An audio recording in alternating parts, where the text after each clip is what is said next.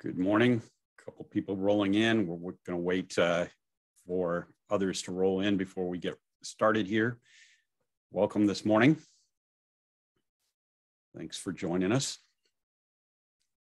Seeing people starting to roll in here, and uh, we'll get started in just a few seconds. Appreciate you joining us this morning. Well, I'll get, I'll get going here and others will continue to roll in. Uh, well, good morning. My name is Harry Urschel and I lead Minnesota Crossroads Career Network. And I'm really glad you joined us this morning. I hope everybody's got their cup of coffee at hand and, and uh, able to maybe snack on something while you uh, watch and participate in a great webinar this morning. We have some uh, terrific presentations for you and hopefully it's going to be worthwhile for you to be able to get help with your job search get some encouragement get some hope in your process and uh, um, get you closer to finding that job here quickly. Uh, we're grateful for everybody that attends and for the people that participate and, and volunteer to to help with crossroads and uh, um, we uh, will jump right in. You know, uh, one of our hopes with Crossroads is to provide the best help and resources for your job search as we can, while also pointing to the encouragement and hope in Jesus Christ. Uh, it should be no surprise that the Bible has a great deal of wisdom for life. And one passage particularly relevant says, Be very careful then how you live, not as unwise, but as wise, making the most of every opportunity this isn't about making the most money in a multi-level marketing opportunity. It's about wisely examining what's before you and making good decisions. I think we often think that if a job opportunity is offered, it must be the right one. That's certainly not the case. And sometimes making the most of a particular opportunity is to know when to walk away. Uh, picking which opportunities make sense for you and which don't is one way to exercise a lot of wisdom. Through asking good questions, seeking wise counsel, and prayer, we can make wiser decisions about our job search and every other area of our life. I hope that as you're looking for your next opportunity, you look for multiple ways to seek and apply great wisdom to your choice. When you truly seek God for the answers, you'll become wiser. Let me open us in a word of prayer, and then we'll move on with the rest of our presentations this morning. Lord, we thank you for this chance to come together, even if it's virtually over video. But uh, we pray that you use this time for your purposes, that everyone can walk away with some fresh ideas, help in their process, and hope and encouragement, you know, particularly from looking to you for wisdom and, and hope in their lives. Lord, we thank you for this time and pray that it honors you in Jesus' name. Amen. So, with that, I uh, want to share, I've got a short video here. It's uh, by Michael McDowell, who won the 2021, I believe it was, Daytona 500. He's a NASCAR driver.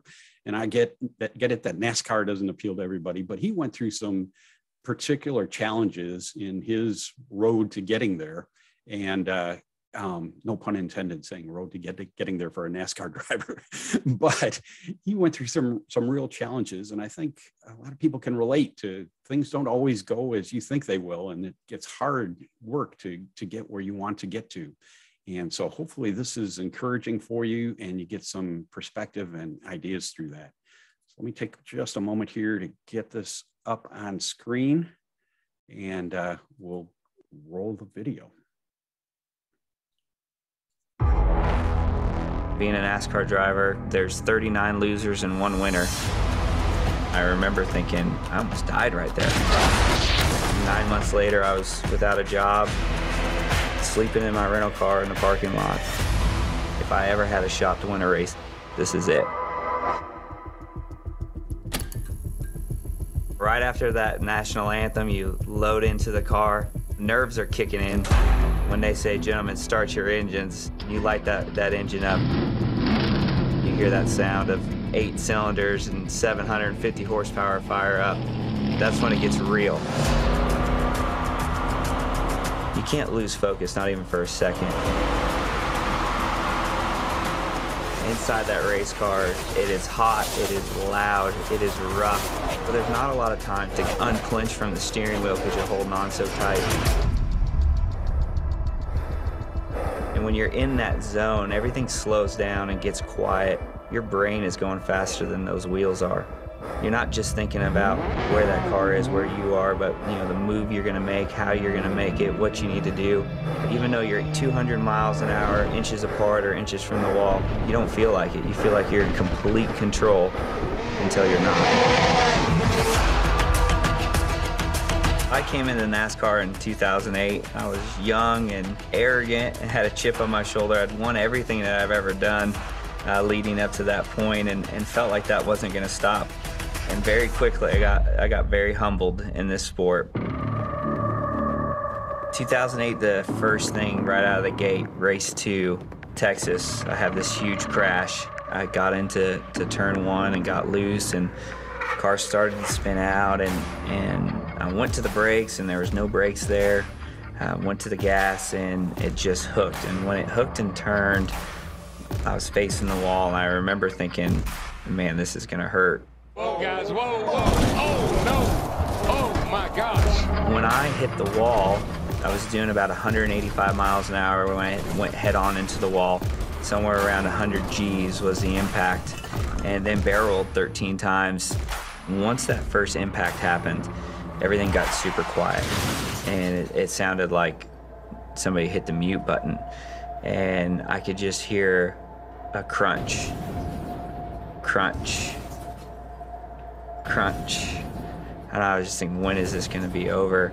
And when it finally landed, I remember wiggling my, my, my fingers, wiggling my toes, trying to figure out, all right, am, I got anything broke? Am I alive? What just happened? And once I got out of the car and I stepped down, I realized that they're playing it on the, the replay. And when I saw it from that perspective, I was like, oh man, I almost died right there. You know, you want to get known for winning races and winning championships, but, you know, I got known, you know, for that big accident. I came into the sport um, with a big contract and a multi-year deal. And nine months later, I was without a job, and uh, my wife was pregnant, expecting our first child, and just uh, so much happening in that that period of time, and so many trials that it was really hard to wrap my head around. You know what God was doing.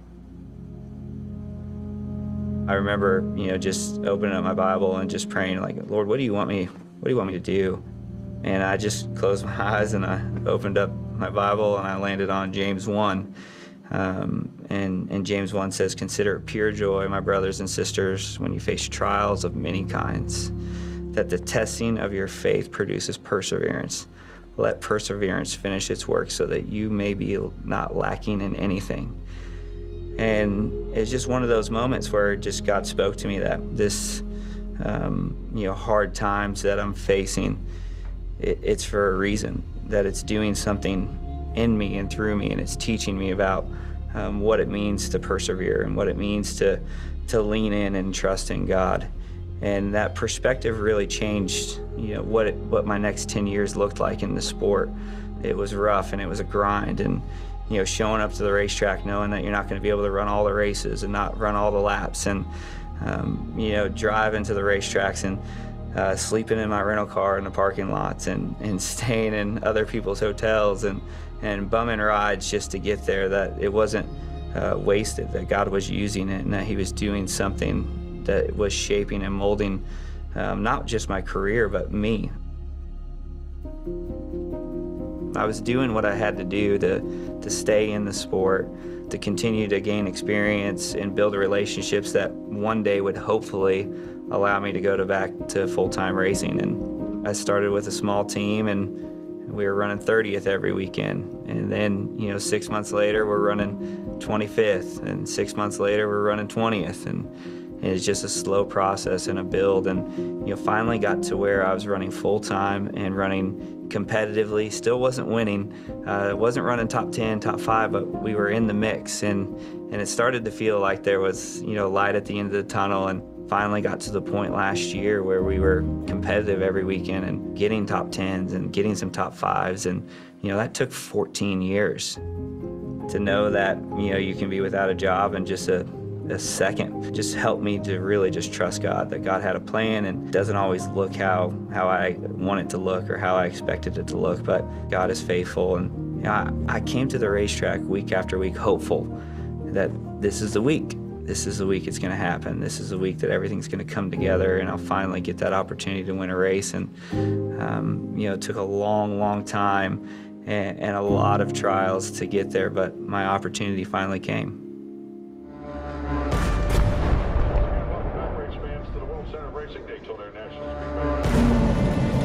First race of the year, our biggest race in the sport, Daytona 500.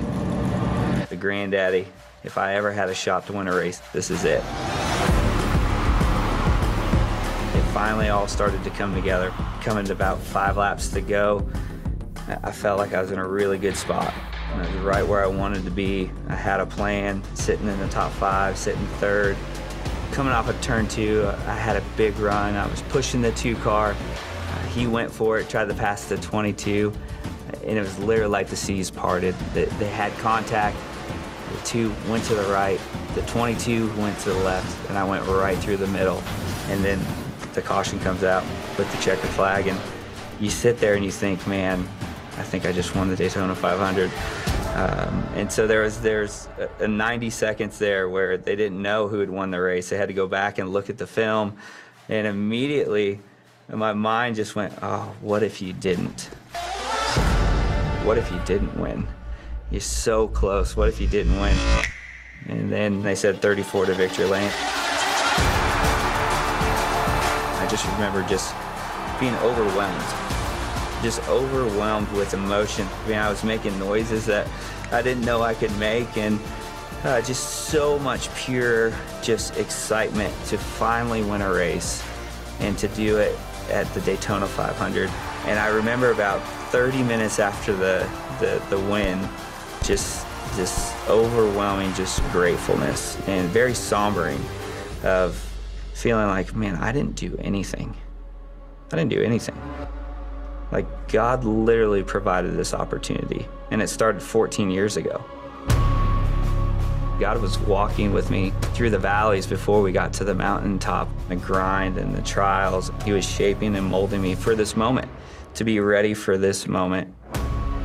When you get to the mountaintop and you know that God's walked with you the entire time and that, that Christ dwells in us, He died on the cross for me so I could be forgiven of my sins, that's enough for me to give him my entire life and to follow him. There's nothing greater than having that peace of knowing that God is with you and walks with you.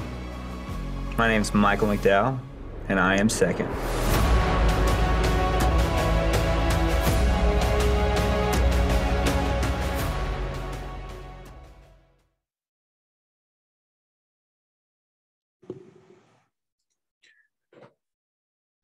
Wow, you know, it, it really makes me think about what do I rely on when I'm going through the grind, when things aren't going my way, when I my plans are different than what is transpiring right now. Where do I turn? What do I rely on to to get me through that grind? And uh, unfortunately, I don't always pick the right, make the right choices. And so, uh, you know, thinking about where where do you rely or get your strength from when you're relying when you're going through that grind? Anyway, I uh, hope that was helpful for you. And uh, it's uh, every I've seen that film a couple of times now, and each time it's just been uh, kind of inspiring for me. I am really glad to uh, present Jenny. Jenny Jefferds uh, um, is who you all came to see. You was what you signed up for here today, and she's terrific. I've gotten to know her a little bit here over the last few years, and and just have a great appreciation for her. I knew her, knew of her before we met because uh, multiple times people would say, you know, I've I networked with Jenny Jefferds and she was so encouraging and so helpful and she just stuck with me and and uh, just has a great uh, uh sense of inspiring people and and doing things right. She's been in development for business development for solution consulting for many years and uh, we were just talking before we got on here today about uh, it's it's a relationship business, and really networking for your next job is also a relationship business. It's not just uh, uh one hit wonders all the time. And so, I'm really glad to have her talk today about what she does so well, and hopefully it'll make a big difference and help you in your process of looking for your next job too. Thanks, Jenny. Welcome, and I'll turn it over to you. Okay. Before I get started, I wanted to lay out the this morning's presentation I've got about 30 minutes of content. I'm going to be taking uh, several several breaks along the way. So please put your questions in chat.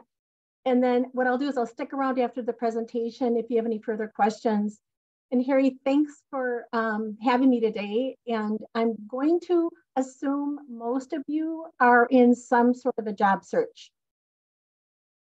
When you hear the word networking, what is the first thing that comes to your mind? Can you please put this in chat and go with the emotions? And I'll read some of this off so you can just share when that word networking comes to your head.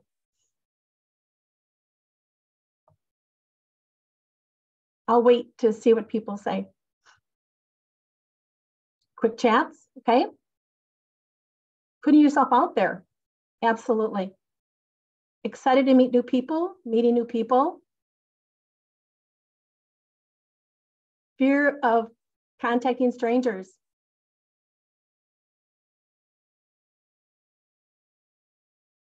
Anybody feel awkward? Uncomfortable to connect with new people with or without similar backgrounds?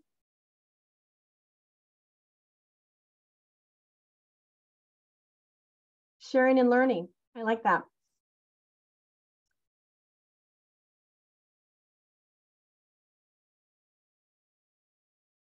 Helping each other.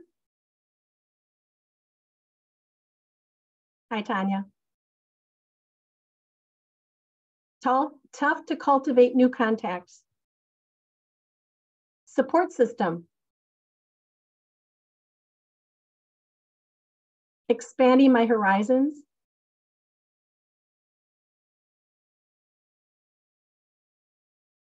Anyone else? These are good. Thank you. Um, when you, what I'm here to share some just, you know, a lot of information, but I've got a lot of uh, incredible stories of why networking works. What I can tell you is you will get a job. Expect to be pleasantly surprised. You're going to create friendships along the way. And most of you will meet a total stranger that will help you find your next job. So let's get started. As Harry said, I've been in um, technology sales. I've been doing this for about 20 years, calling on the Twin Cities market. And when we got hit by the 2008 recession, a number of my clients lost their jobs. So I spent two years connecting these clients, the existing clients that were maybe hiring or they knew their companies were hiring. Um, since then, since 2008, I've helped over 3,000 people look for their jobs. And every person I meet teaches me something different. There's about 20% of the people I meet that just do a fantastic job, um, exceptional when it comes to networking. And I'd like to share with you today how they dif- differentiate themselves from the others. It's just the simple, basic things they do that makes a difference. I'm going to start.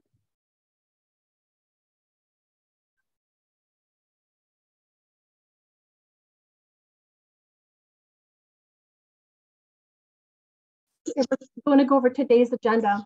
Um, I'm going to be talking about where to start, setting the tone, how to show up, develop a plan, follow up, and tips and su suggestions. And I'm, as I said, I'm going to be taking some breaks, so please put your question, questions in chat. Why is networking important? Surveys show that 80% of jobs are going to be through word of mouth or, for, or through your professional network. Companies are more likely to hire someone that they know or can be or can be referred to compared to an unknown candidate. Networking provides valuable information on the job market and on the company cultures.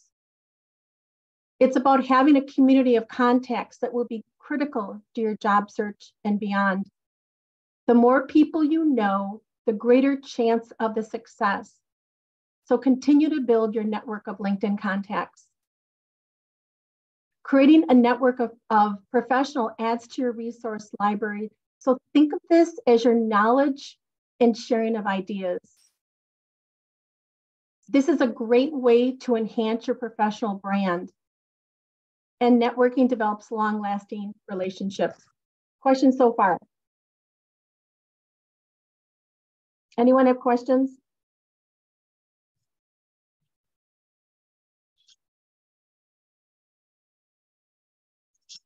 Okay, so I'm going to talk about where to start. You know, people kind of say, well, what's the plan? And I, I've always said there's really no right answer. I there's a lot of people I talk to that take the splatter approach. Others are going to be more strategic. You're going to get a lot of advice along the way, but do what makes sense for you. Think of a time in your life when you did something kind for someone else. How did that make you feel? Remember this people generally want to help you, so don't get hung up that you're bothering them when you reach out to people. So let's go back over the years of all the people you know and start making a list and kind of look outside the box. So look at like your former uh, coworkers, neighbors, relatives, alumni organizations, professional groups, churches, school booster clubs, military organizations, job fairs, networking groups, um, meetups, your financial planner, your dentist, your doctor, your hairstylist, tax accountants, the list goes on. I often hear from people how surprised they were when these total strangers go and take the extra mile for them. In most cases, you will get a job through a second level connection that someone in your network that connected with you with you with somebody that someone that you didn't know.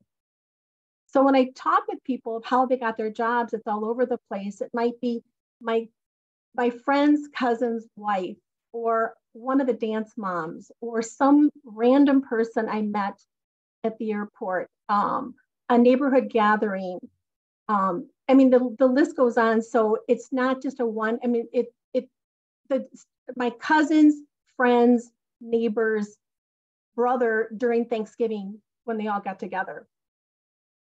Any questions so far? So how do you set the tone? The response time is going to be really important. So when someone sets up an introduction, you know, through an email, try to do this within eight hours. What impression are you giving that person if you respond one to two weeks later? Arrange for a 30 minute conversation. Give them choices on how they want to meet. So it might be phone, it might be video, it could be in person. I'm finding these video and in persons can be can be really effective. It's just how you handle it if you are doing it in person, meet them on their side of town. I had a one of my, a person wanted to meet, and she lived in Anoka, and I live in Apple Valley. She insisted I go up to Anoka, and she would not come down or meet me in the middle. So we did not have a meeting. Share your intent up front. You know, why are you meeting? Let them know you're in a job search.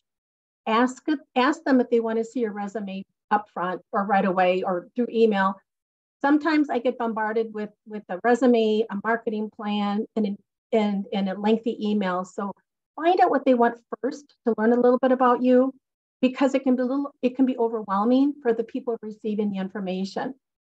If again you don't ask what they want. The day before you meet, send out a reminder just to say, hey, I look forward to seeing you, and this is my mobile number. Any questions so far? So I put any questions? I'll wait a few minutes.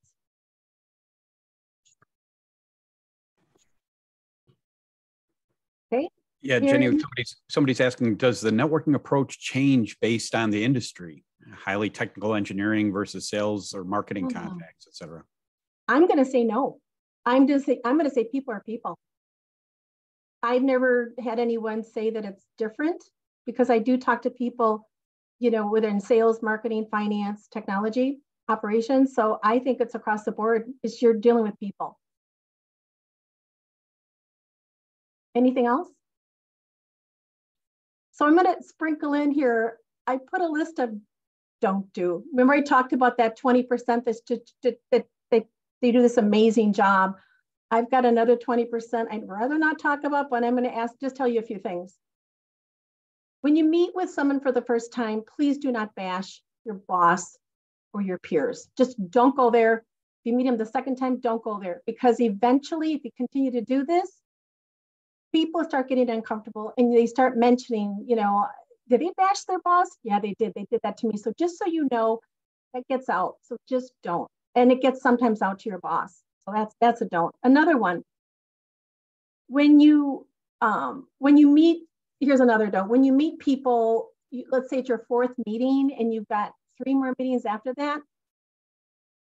I wouldn't recommend you tell them you're my fourth meeting. I got three more after this because I'm going to feel like I'm in this kind of this manufacturing line. So just don't say it. You don't need to tell me where I sit with the number of people you met that day. So those are some don'ts.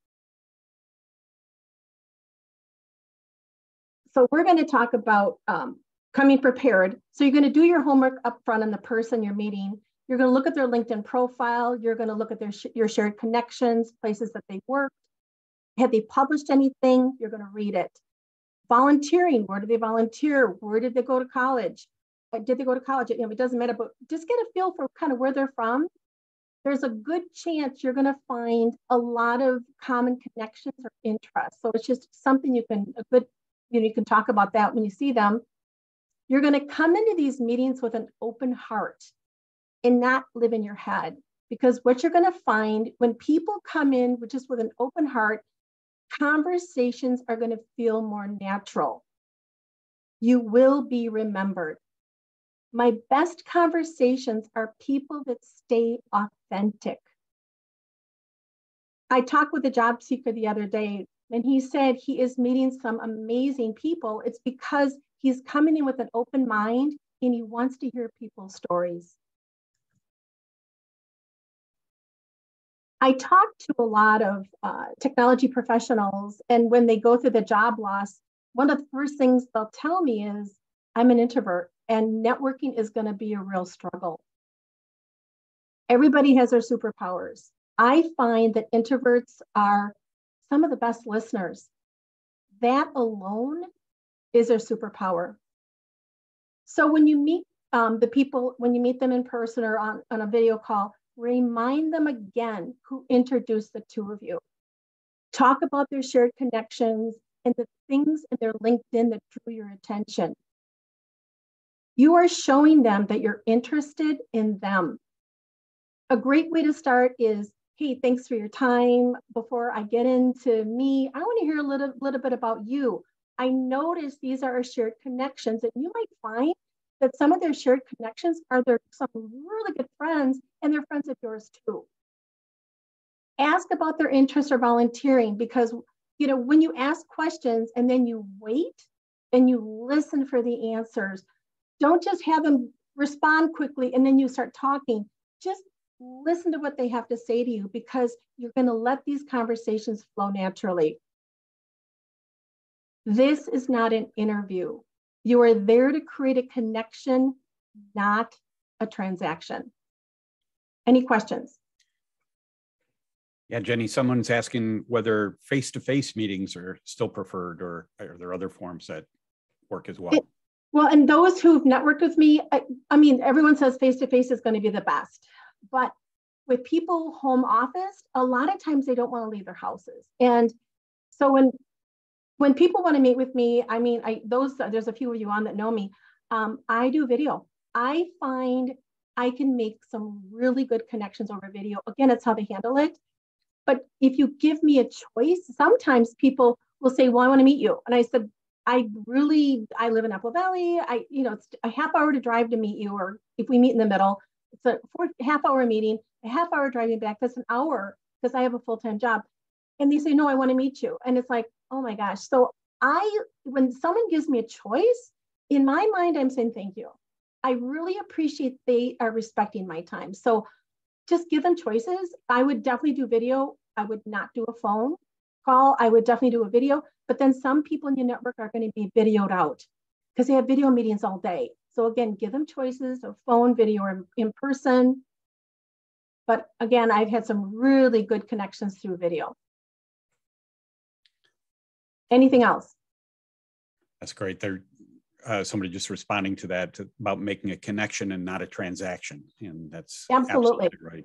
Mm-hmm. You know, your points, Jenny, on setting the tone in the meeting is just so critically important. I mean, you, I know, obviously do a ton of uh, networking meetings. I do as well, and and uh, you know, once in a while you get somebody that you you start talking with them and they tell you all the reasons they're not landing a job and all the bad experiences they had and uh, you know dumping all this stuff out. And i'm you know i'm grateful that they feel comfortable talking to me but then you know they want referrals to other people and i'm not really happy about sicking that kind of an you attitude on someone else. I, i'm going to talk about that. It's like be careful. Because exactly. that affects my credibility. We're going to talk about that. I have another don't. My name is jenny. It's not janie don't call me Janie when you meet with me or Penny or whatever. It's Jenny. so make sure you know the person's name. So, okay, I'll go. Ready to go on? Yep. Okay, so we're going to talk about how to show up. I'm sharing my personal preference in this area because you're going to need to make this your own. When I meet with people looking for a job, the biggest struggle, and I can truly say this, and here you can probably agree with me, is they're just not clear with what they want. And they meet with me and they hope I help them create clarity. And I struggle because I don't know them. So, you know, that's going to be the biggest. And then they come in and, and they say, well, let me give you my pitch. And when they say that, I think, oh my gosh, I'm going to be pitched to. And when they say that, I think, oh, I've got 30 minutes of listening to them.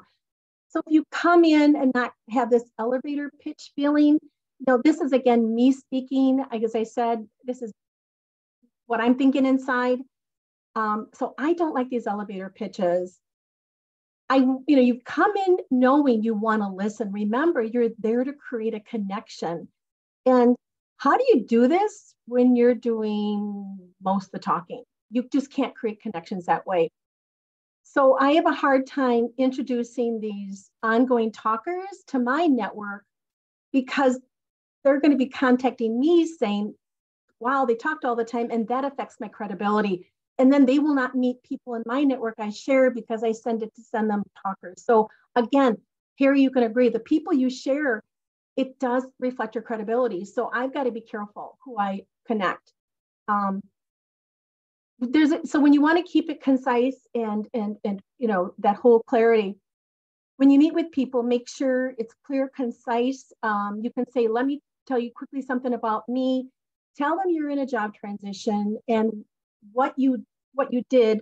List three things. All it is is three things. Don't list five or six. Just give me three top things. And then what are you known for? Three things.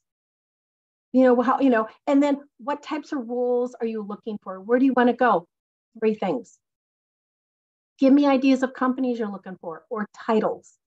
If you struggle with what you're known for, go back to your uh, former employees or peers and say, hey, I'm doing a branding ex- exercise. What am I known for? And why did you enjoy working with me? And then you can use that information and you can say, this is what people tell me, this is what I'm known for. Avoid using soft words like, well, I think I'm good at, or possibly, or well, I kind, you know, I kind of, Instead, you want to say, This is what I'm known for. I'm competent here. I really do well in this way. This is my sweet spot. Make it so it sounds like you and not everybody else. I, I hear a lot of, I used to hear, and it, the word has gone away, but they go, Well, I'm a strategic thought leader. And I thought, Oh my gosh, here I go. It's like, don't open up with that. Or I'm an innovative, transformational leader. Don't go there. Again, make it authentic, make it you. I want to know your personality. I want to know who you are because I want to send you to some people I really like. Um, I'm 50 50 on a marketing plan. Personally, I don't like them, but I know a lot of people will say, Well, what's your marketing plan? So I have that available. Again, I don't need to see it. I, I match people up with personalities and industries where you want to go. And I say, Well, I think my contact would really like this person. So make your intent, I mean, make this your intent listen 60%, talk 40. Don't do the 50 50. Try to get them to talk more than you. By listening, they will feel heard and valued. Find out who's typically doing the hiring for the roles that you're looking for and find out, you know, what companies are growing. I mean, just ask those kind of questions. Sometimes when I meet with people that I'm networking with, I'm not always clear headed. I have maybe have come out of a meeting. I've got three things on my mind. I promised I would help someone networking. And my gosh, I've got another meeting afterward. And I really want to, I really want to be there for you. But sometimes my I'm just not in, my head's not clear when I meet you. So help me think give me some ideas. You can say, hey, Jenny, I noticed in your LinkedIn, you're connected with these people, or I noticed that uh, you, you, you know, these are the companies you know. So if you help me think, then I'm going to, then my brain's going to start to work. And there's a really good chance that I will introduce you to those people that you're asking me about. Stay open and learn something new from these people. And also my recommendation is seek advice, especially from the people that have been in a job transition in the past. Find out from people who are the Uber networkers in town. The Uber networkers have a pulse on the market and they know what's happening in real time. They may not necessarily know the people or have connections, but they hear of things. When you meet with people, take notes and respect their time. When you tell them 30 minutes, make it 30. Most cases, people will go over it, but make sure you look and say, hey, I committed to 30. Let's just wrap this up. And I, so just really respect their time. I had a coffee meeting with somebody and we were, he was telling me about his background and he, um, he told me about his dream job and the dream job was working for an airplane company in Duluth. And I went back, looked at my connections, realized I knew the CIO. So I connected the two of them. She met him and she ended up hiring him. So random conversations can lead to surprises like this. At the end of most of the conversations, I like to ask people, what do you like to do for fun? You're going to see the energy shifting. And it's just kind of fun to see where that takes you make your meetings reciprocal. Um, I recommend because I, I can almost, you know, usually when you meet people at the very end, they say, "So what can I do for you?" And I always say, "I'm I'm fine, okay." But if you say it up front, be a little different and say something like, "You know, I really appreciate this. I want to make sure this is reciprocal. This is really nice of you to meet me, talk with me. So I'm going to be listening to things where I can kind of help you or or pay it back or whatever. So, and make sure you let them know I'm here to pay it forward. So if you want anyone to send my way, please do. There's a really good book. It's The Go Giver um, by Bob Burg and David, uh, John David Mann. It's worth the read. So I will take another break. Any questions?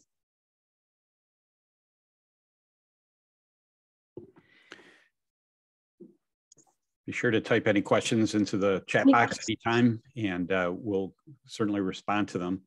Uh, I know it sometimes when they're getting typed, there's a kind of a lag till they show up in the chat box. So yeah, I'll wait. I'll wait.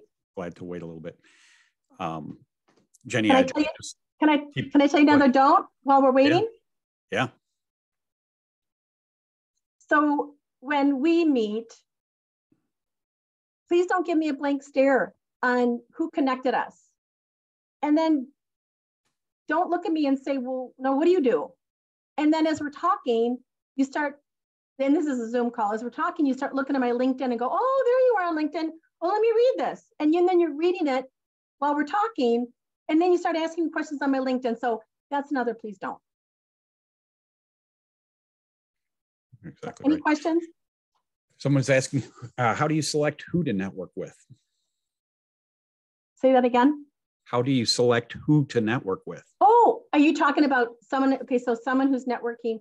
I think that's where you that's where the clarity comes in. So when you're so when someone's talking to me, and if they're clear saying, "Hey, these are the types of people I want to meet. These are the companies I'm trying to get into. I'm looking for these divisions.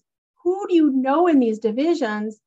Then those are the people. So you just start asking. You start to kind of drill down a little bit when you meet these people. If some people say to me, I don't know, can you meet me? Can you introduce me to people? I'm like, well, wait a minute. Help me understand what kind of people you want to meet. So if you can help them think and just drill down, you may not know who you're going to meet, but give them an idea of think about hiring managers. I'm looking for, uh, if you're in marketing, I'm looking, if you're uh, in a director role, I'm looking for the VP of marketing who just does the hiring. I'm looking for someone in these companies. So I get, is that answering your question? You just have to drill down and be clear with the types of people and the types of companies. I think that does. You know, I you make such a good point. I mean, as you have been going through your list and describing all this, Jenny, I just smile because I, I, it's the same thing I tell people as well, and we have the same perspective on so many things.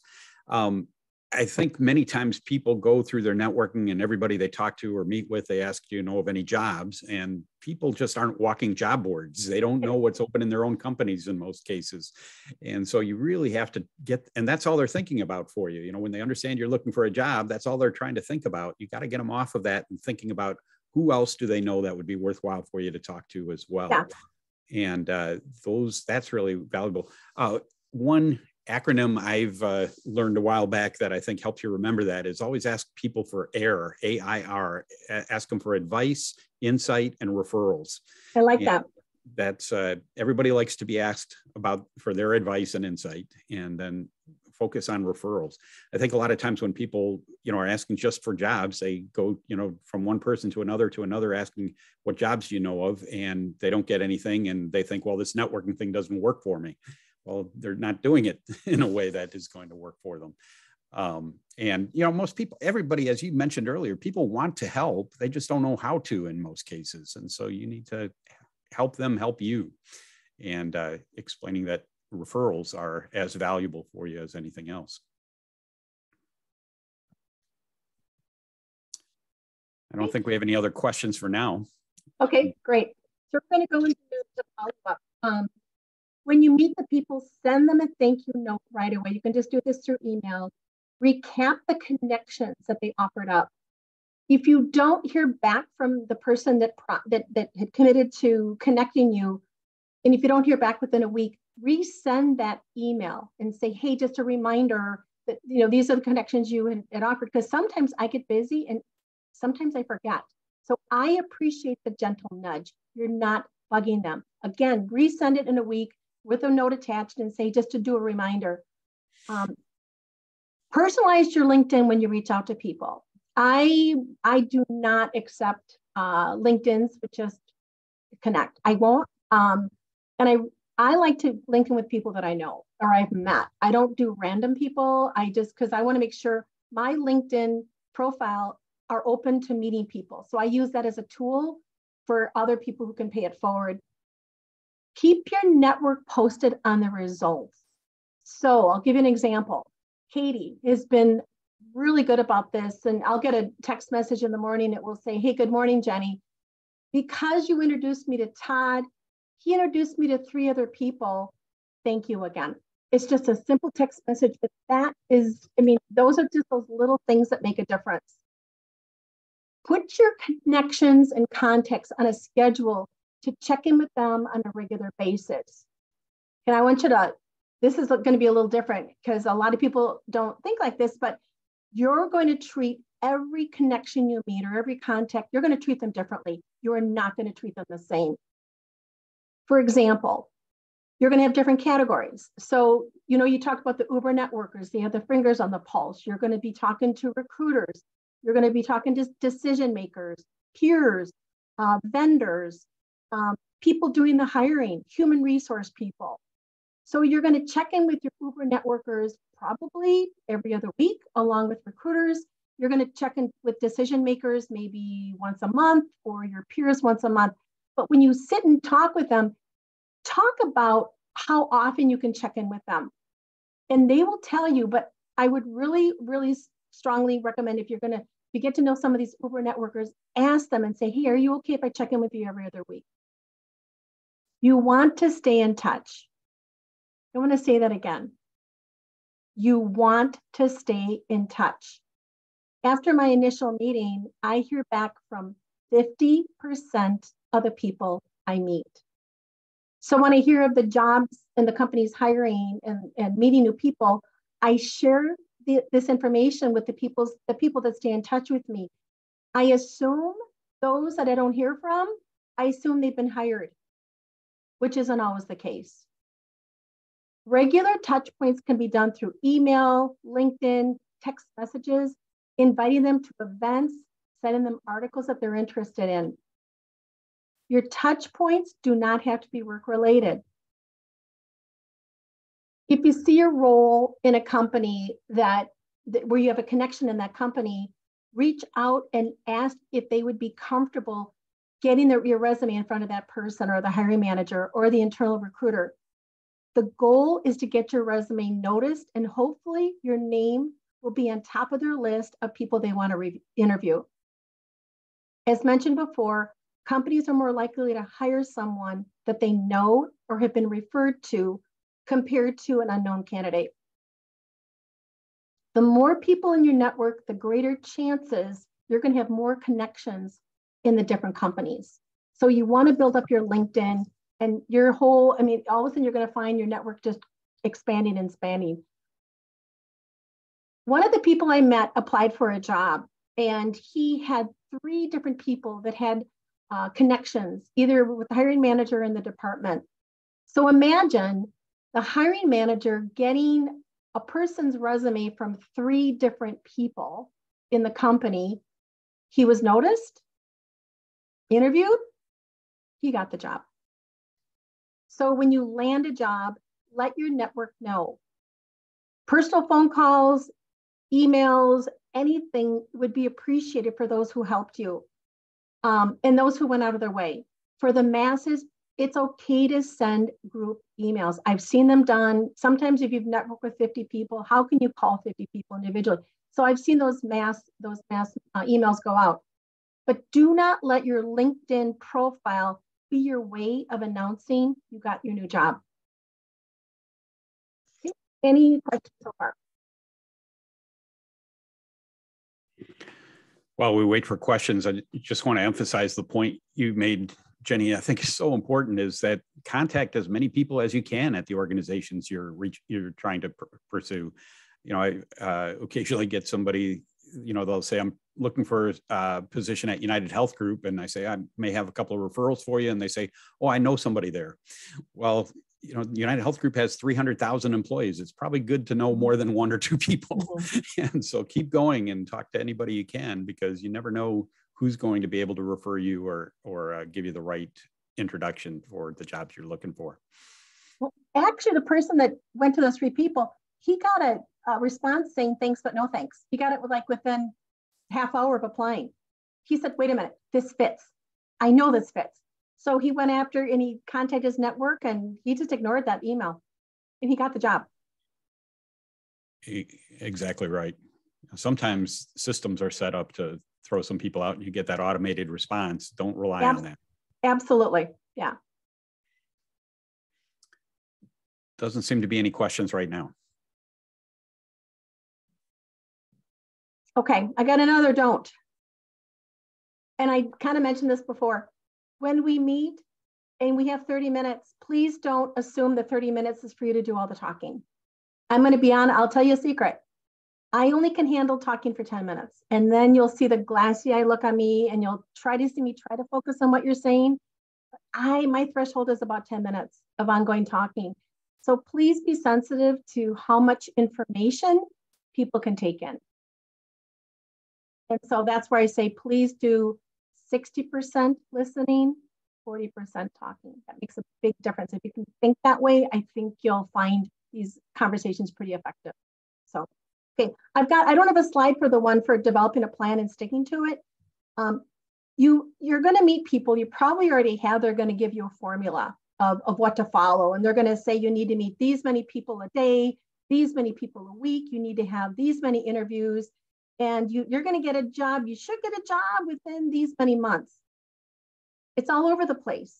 Take this with a grain of salt because some people get jobs right away, others, it's going to take them time. You're putting enough pressure on yourself. You don't need to put these rules in your head, which adds more pressure to you. We all come from different levels of tolerance. Some of you, you can meet five people a day. Others, one to two people is plenty. What's important is to keep this consistent. Create a plan and stick to it. Go the pace you're comfortable with because if you're not, it's going to show and I'm going to see it. So, great. Any questions?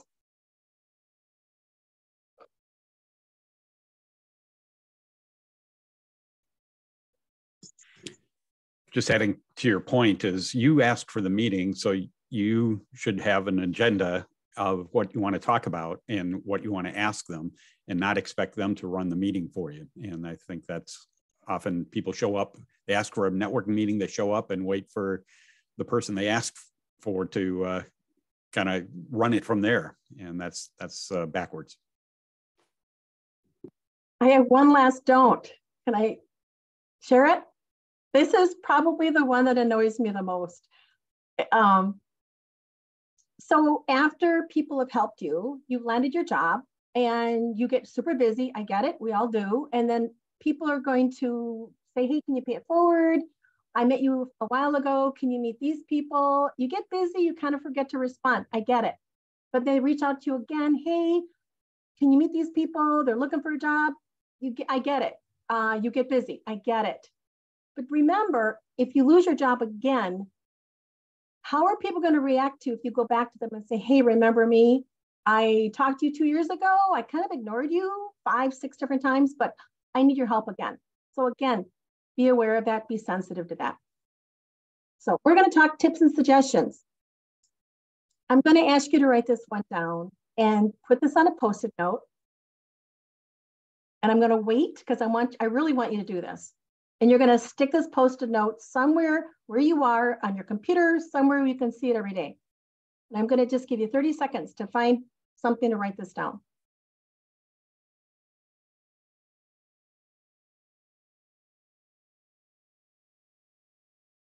Okay, 20 seconds. Stop the negative health, um, stop the negative health, uh, head chatter. Stop it. We all do it people want to help you. You are they are not blowing you off. And i hear this over and over and over again from people saying i just they, i'm bugging them. I don't want to bug them. So they are not you are not bugging people. People get distracted. So you reaching out to them is okay. You are not bugging them. You are being professionally persistent. Put down professionally persistent. It's not like every day maybe you check in with them every other week or once a month. That's professional persistence Create a support system, your safe place. Team up with others. You can share ideas, connections, jobs you're hearing about, get feedback. I would recommend you meet on a regular basis so you can keep one another accountable. You can't take anything personally. Some of you are will get ghosted, some of you have been ghosted. So when you send out an email as a follow-up, you don't hear back, resend the email maybe a week later. Sometimes you're going to have to send an email like to the HR person, maybe even a, maybe even a third email. I continue to get surprised how some of these recruiters and HR people are not letting people informed in the process, especially after they've had a few interviews with a company. Find the best method to reach people. Not everybody's going to look at their LinkedIn messages and not everyone's going to read their personal emails. So when you have these networking meetings, ask them what is the best way to contact you. Advocate for yourself. How can you get if you don't ask? Take breaks when you're in a funk. Job transitions have ups and downs, and it can be very isolating. Pick up a part-time job. I have a friend of mine who was a VP of HR and she worked at a garden center. And I know a CIO that got a job at the Apple store at Mall of America. Uh, I recently ran into somebody who's in transition and he was working at Trader Joe's. Your time isn't their time. Volunteer. Remember that feeling about doing something kind for others? Disruption to the family can turn into some really great life lessons. Harry, do you want to share yours? I appreciate that. Yeah, you, you know, I when um, things get tough, you got to figure out how to get through it and what's uh, most important. And um, you know, and um, 2002, I started my own recruiting firm, and, and then we hit uh, the recession in 2008, and things got really bad. And uh, for um, about a year and a half, maybe closer to two years, I was writing checks into the business to keep everybody afloat instead of uh, taking any money out. And we came very close to losing everything. And uh, it was just really hard, but it was one of the most formative times for my family and I to go through in terms of building resiliency and trusting God and, and uh, working on how can we get through this together and, and come out stronger in, in the process. And so, you know, going through those tough times, nobody, I, I don't want to go through that again. Hmm. Um, but I don't want to, I wouldn't trade that for anything. It was just an incredible time for, for our whole family actually. And, uh, you know, realizing that those times are the times you grow in life. You know, it, it's great, and we're always pursuing those easier times in life when things are going our way and and uh, everything's kind of on autopilot, and and it feels great not to have stress and worry in your life. But uh, you don't grow during those times, mm-hmm. and that's uh, I, I think you need both. And the reality is, we live in a world that not everything goes great all the time. You're never locked in that now everything's going to be perfect the rest of the way out. It just doesn't work that way. We're always either uh, coming out of a crisis of some kind or going into one. And so, how you manage through that is uh, uh, really telling. You make the point of volunteer or helping others. And one of the things I found during that, you know, I wanted to, when things were tough and stressful and and everything seemed to be going the wrong way, I wanted to isolate and just uh, huddle up at home and not do anything else but uh, finding ways to serve other people and be helpful it's pretty hard to be completely down about yourself when you're helping somebody else in life and so um, finding ways to to volunteer and help others in some way i think is a really important in terms of your own attitude as well thanks for sharing um, I'll go on to some tips and suggestions. So not everyone will accept LinkedIn invites um, from random people. I won't. Make sure when you do send a LinkedIn message or an invite, personalize your message. You might even want to talk about shared connections, but be really careful about using people's names. I've had people reach out saying, hey, they're using your name to link in with me. That person never got my permission. So really be aware if you're gonna if you're gonna leverage somebody's name, get their permission before you do it find a way to re- personalize your reach outs. Um, I was on a panel of, um, a little while ago talking in front of a group about networking, and I got a lot of requests that evening uh, to link in.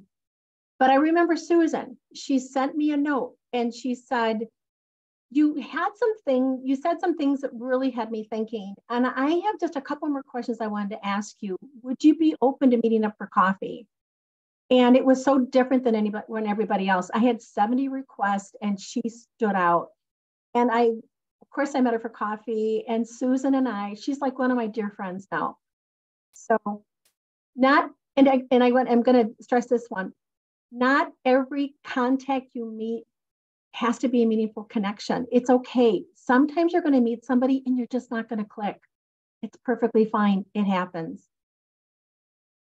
Remind coworkers what your previous roles have been because some of these coworkers knew you from 10 years ago so they put you in a box of what you did 10 years ago. So you need to update them on the knowledge and the experience the latest skills you've had so then they can kind of take you out of that box they put you in. There's a lot of great information on the internet um, of how to network. The muse podcasts, YouTube, Instagram, TikTok, Reddit, Pinterest, and blogs. Stay relevant. Uh, be open to learning. Get a career coach. Take classes. Get certified. Take this time to learn a new hobby. Um, start an exercise program. I have a friend of mine that started photography. Well, he got published a few times. Another one of my contacts started to eat healthy he lost 80 pounds and kept it off. When you're doing things you enjoy, you will give off great energy. Um, it's okay to say you're in between jobs. It's okay. I like I'm in between success. because you get rid of that mindset that you have to have a job in order to get a job. Those days are gone. So with company mergers and reorgs, acquisitions, um, outsourcing, the list goes on, employees will get impacted and it's not going to change. Make networking an ongoing part of who you are. Don't just make networking because uh, uh, uh you're looking for a job. Just make this part of your practice. Another really good book to read is Never Search Alone, The Job Seeker's Playbook by Phil Terry.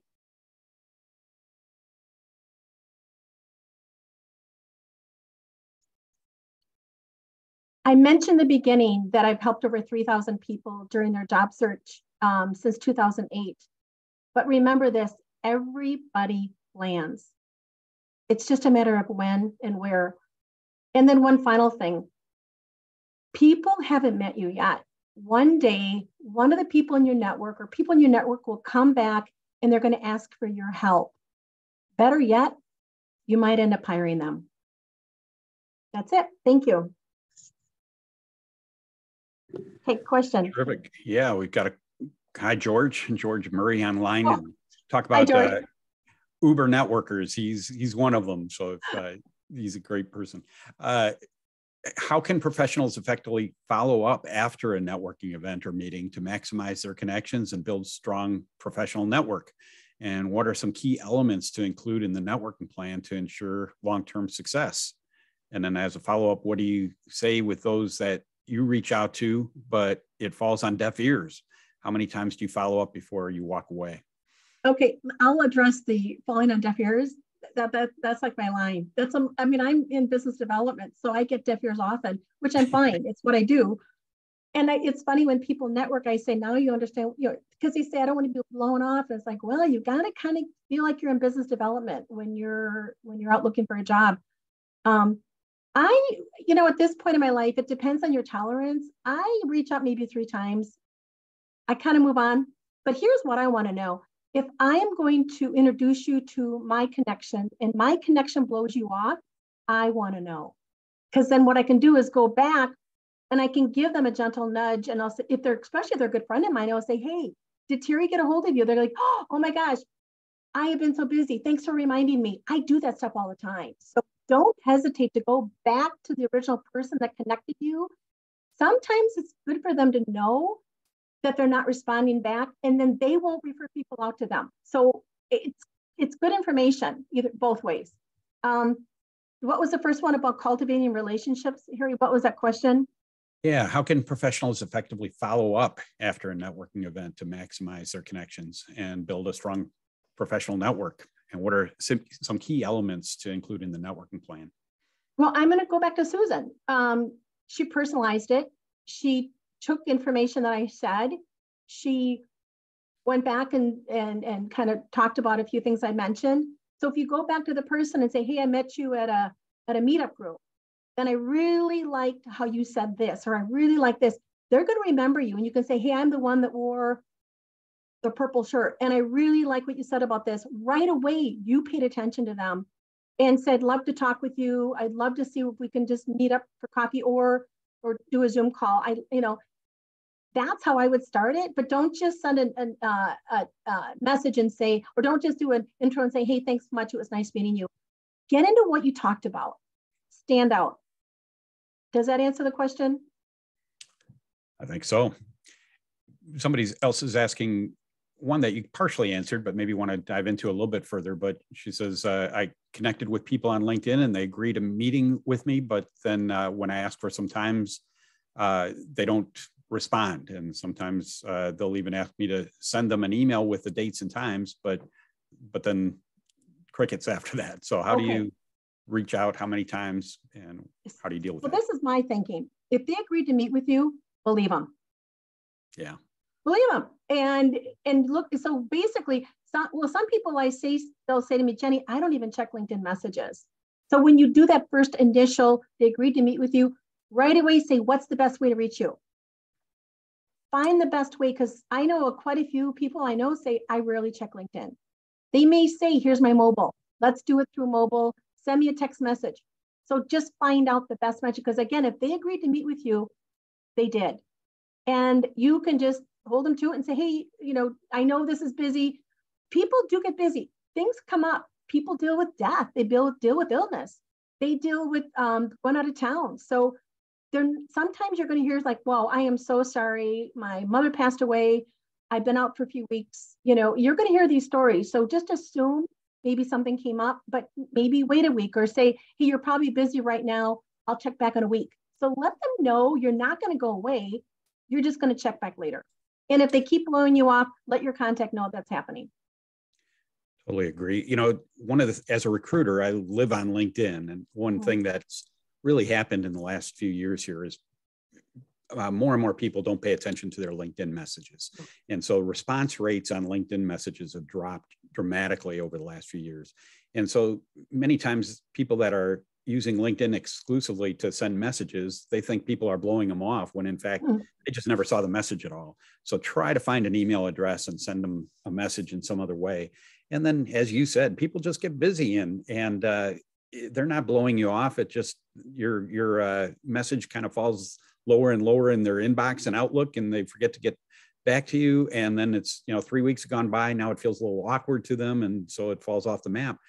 Reach out to them again. I guarantee they're going to appreciate the prompt and and uh, respond to you. You know, a second or third time out. So don't. Hey, can I piggyback yeah. on what you said? What you said was so important because I'm in a role where I know people. I've helped people and I've got these relationships with them.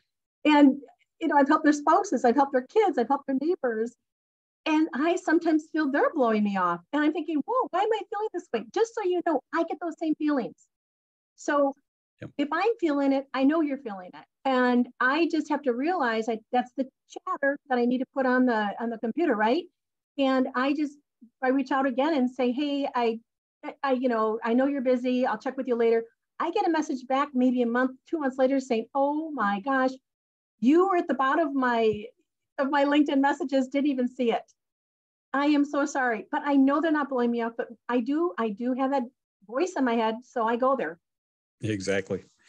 So somebody's saying, can you please share uh, names of recommended books? And I'm, since George is on the line, I'm going to ask him to put a link to his book in there. Actually, when George a few years ago went through his own job search, he learned a ton and applied it in, in tremendous ways and actually wrote a book called Hired How to Cut Your Job Search Time in Half. And I highly recommend it. And uh, George, if you can put the uh, link in there, have so people can have access to it. But Jenny, you mentioned a couple of books in your presentation, and and then uh, I also recommend a 20 minute networking meeting by Marcia Ballinger and and uh, Nathan Perez. You can find that on Amazon as well. It's another great, uh, you know, it's it's not.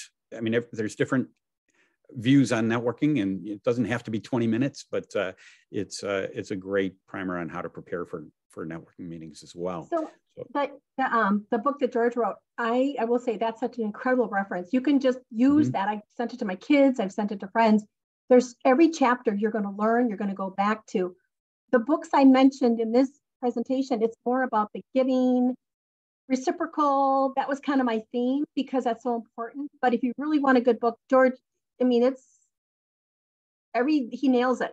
He just nails the, the way I think. Agreed. He put the link into the chat so you can uh, click on that and and uh, certainly recommend getting a copy of that. He, he says uh, Jenny is my energy coach on my personal board of advisors. Good choice. But he also asks, you know, what do great networkers do to really set them apart from the crowd and make them memorable? You know, when for you, Jenny and and for George and, and myself and others that meet with a lot of people, after a while, a lot of people start sounding the same. So how do you set mm-hmm. yourself apart? Anything else? Well, if, you want to address that, you know, what are some ways to uh, kind of set yourself apart? Oh, you. Oh, okay. Sorry.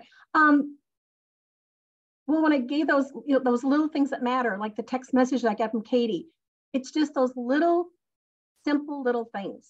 Um, the listening, coming prepared, um, reminding them. It's just these little basic things that just, you know, it's it's like the little polish, and you're kind of going, oh, it's kind of the surprises you get. Like, wow, I didn't expect that. Um, you meet them, they greet you, they want to hear about me. It's like, wow, that's pleasant. So they do rather than just sitting down and giving me their marketing plan, their resume, and going on. When someone sits and talks and asks me about me, I'm like, whoa, this is really nice. So make it that way. Absolutely. As you emphasized from the beginning, it's being authentic and building a relationship rather than a transactional conversation. I um I can't say and I, I tell them this isn't an interview and they don't listen. I go, this is not an interview. And they still talk. and I think, oh, and I think, well, I can't, I cannot connect them. Because I'm like, I get a call saying, Jenny, I, I, so I, I try to coach a little bit, but my, I'm not, I don't want to be the coach. I want to just help them. And they don't pick up on the, this is not an interview. I, I don't know. Some people, I think they're just really focused on, you know, I've got to, I got to go through my steps when I talk to this person. When I talk to Janie, I got to go through my steps. So you're trying to build a or, or gain an advocate that can help you, not uh, an employer that's going to hand you a job. Bingo! You want to create a friend. I I have a, you know, with with one of the people in my network. You know, he sends me his I mentioned he sends me his itinerary when he travels. He goes, "Hey, I traveled here. You got Jenny. You got to go here because he knows I love to travel." Um, I know some people that try new restaurants and they'll go, "This is a great restaurant." I'm going to remember these people. Absolutely. Any other questions?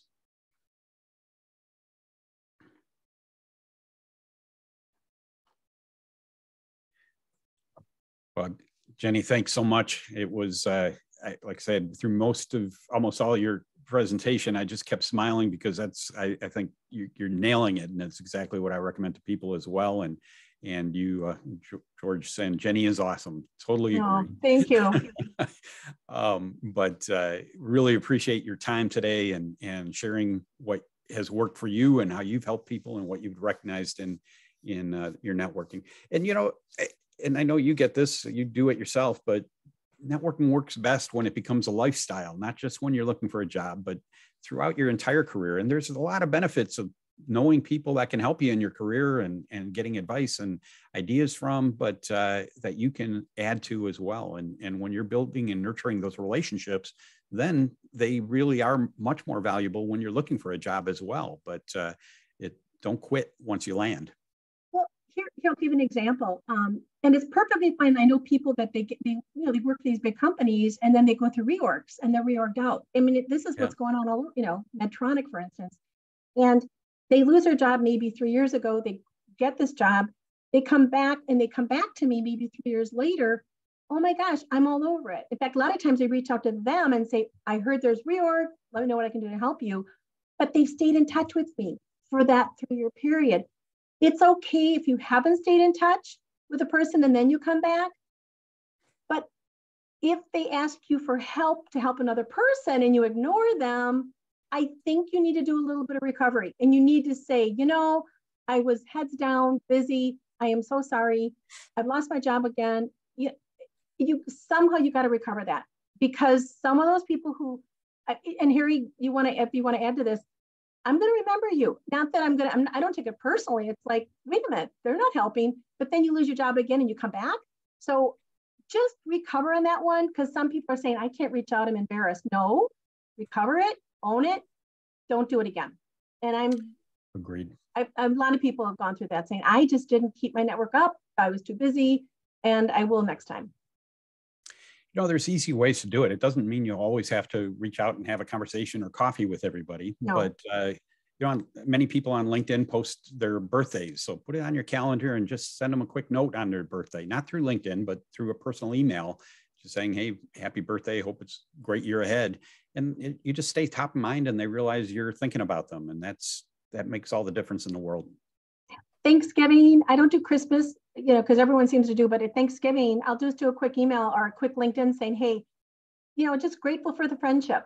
And i'm really glad we met three years ago. So it's just my quick thinking about you. Absolutely. And especially when you are just offering something up like that not asking for anything at the moment no. it just makes a much stronger impression. So, Jenny, thanks again. Really appreciate it, and uh, um, hope to uh, have you as Jenny and I were talking beforehand. Is uh, I'm looking forward to when we get back to in-person meetings with Crossroads, and hope to have her live in person uh, at one of those coming up sometime in the future. Appreciate it. Thanks for uh, having me. Yeah. Absolutely. Uh, want to just run through a few things for you to take advantage of with Crossroads beyond these webinars. Um, you know, I, I, had a conversation with someone last week and they said, you know, well, how much do you charge for these uh, other things that you offer? And as if these webinars were uh, uh, uh just a hook to get you to pay for something. And everything we do is free. There's, we're helped by a group of volunteers. I'll show you some pictures later here shortly, but um, it's, there's nothing that we charge for. if you're in one of the classes, we there's um, a book we use in that class and you know we recommend people buy it but even that if if the cost of the book would keep you out of the class. Let us know and we'll pay for that as well because we want people to take advantage of everything we offer and there's no charges for anything. So let me share a screen here and i'll run through a number of things real quickly. And i really hope that you're able to um, take advantage of of uh, all these different things we offer. Hang on. Let me find my screen here. Bingo, hopefully you see that. So if this is your first time at one of our webinars and uh, when you registered, you gave us your mailing address, you're gonna get uh, one of these books in the mail here. It'll be on the way and you should get it in the next few days. But uh, How Long, oh Lord, How Long? It's a great devotional on uh, things that you face during the job search. There's an index in the back that you can even look up and, you know, here's the struggles I'm having and, and uh, what's written about that. And it's a, it's a tremendous resource and it has been a great inspiration and help for people to get through the challenge of the job search. And we just want you to have that as a free gift from us. So as I said, if this is your first time and you uh, haven't received one in the past and you gave us your mailing address, it'll be on its way. Now, I should qualify that because I'm really grateful. We get people from all over the world that have been on our webinars and including, you know, from England and Germany and Africa and Australia, which is just mind boggling to me. And I'm grateful you join us, but unfortunately, we're not going to send these internationally. We also get people from all over the country, and you certainly will receive one, even if you're not in Minnesota here. But uh, um, sorry for, for those of you that are watching from uh, other parts of the world, but uh, glad that you're able to join us. I hope it's been uh, worthwhile for you. Anyway, that'll be on the way here shortly uh, I think in order to register for this webinar, you had to go to our website, but I really encourage you to explore it further. mncrossroads.com really has all the detailed information of everything we offer. And uh, you can sign up for the different resources and events and uh, different ways you can get help. And check it out, look into the uh, different things that are on there. We have a job board page. There's a number of companies that know what we do, know that great people participate in Crossroads, and are looking for hires. And so uh, we're not uh, indeed.com where, where we get uh, hundreds or thousands of postings a, a day or a week, but uh, we do get a number of great jobs that uh, get on there that uh, hopefully something would fit for you. And what we find is that when it comes through Crossroads, when you apply or when you contact somebody, make sure you mention that you found out about it through Crossroads. they often get special consideration. So pay attention to that but we have a resources page with all kinds of information. We have uh, um, information of the upcoming webinars, of uh, classes and different things that I'll describe here in a moment. On a weekly basis, there's a number of ways you can get plugged in. And, and one of them that I think is critically important is our networking group.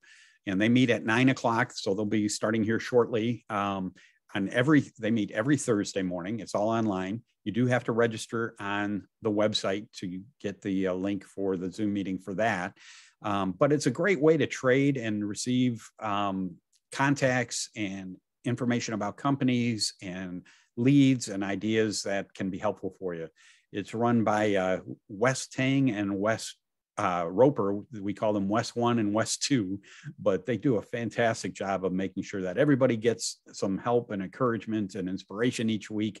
But uh, nobody goes in and out anonymously, and so you're. I really encourage you to take advantage of all that.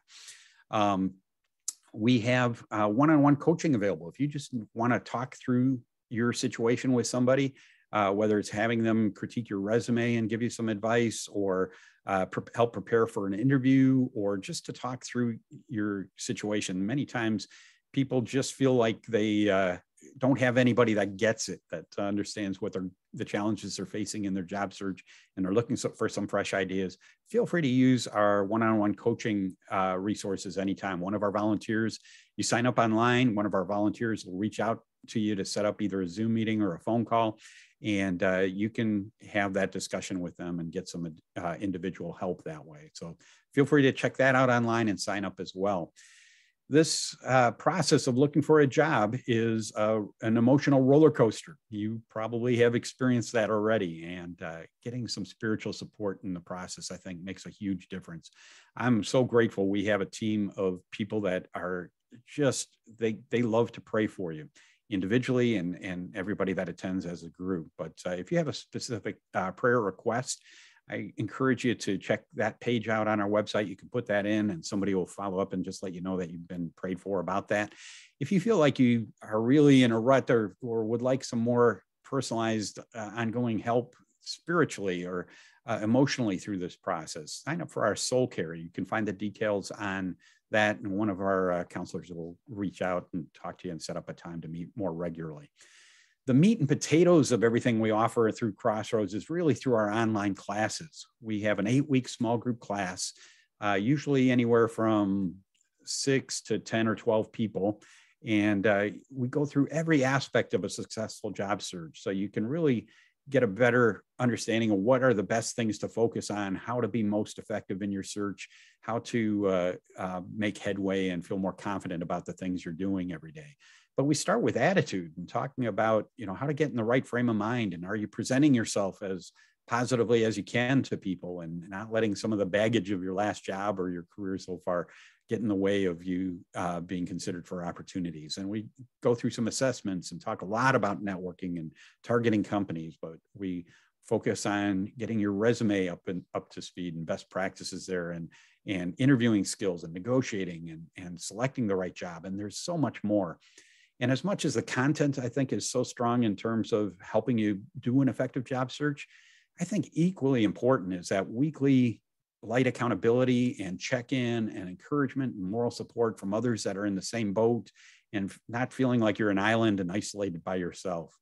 I can't emphasize the importance of of uh, getting back up to even keel emotionally each week as you go through this process because it, that roller coaster of emotions really can wear on you after a while.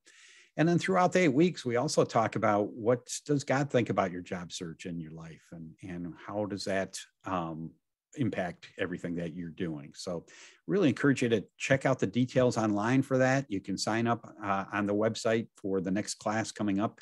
We've got another one. We start one every month. Uh, there's another one coming up in March, and uh, you can, as I say, find the details online and and uh, sign up there.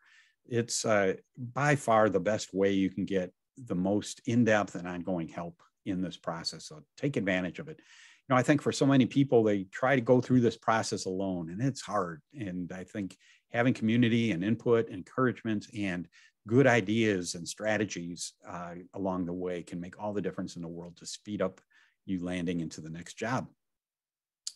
Um, join our LinkedIn group. If you put in MN Crossroads Career Network up in the search box in LinkedIn, you'll find where we're at and you can uh, sign up there and you'll find all kinds of great resources. People are posting all the time. We have companies that'll post jobs on there from time to time. People will post um, uh, networking tips or or uh, ideas for your job search.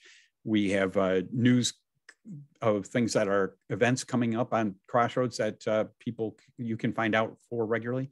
But I think most importantly is there's well over 2,000 people in the group now. All of them have been through Crossroads in one way or another, and uh, um, are just willing to be networking contacts for you. So if there is a particular company you're targeting that you'd like to find uh, opportunities in or want to pursue, see if there's somebody in our LinkedIn group that can um, make an introduction for you or at least give you some advice and insight about the organization.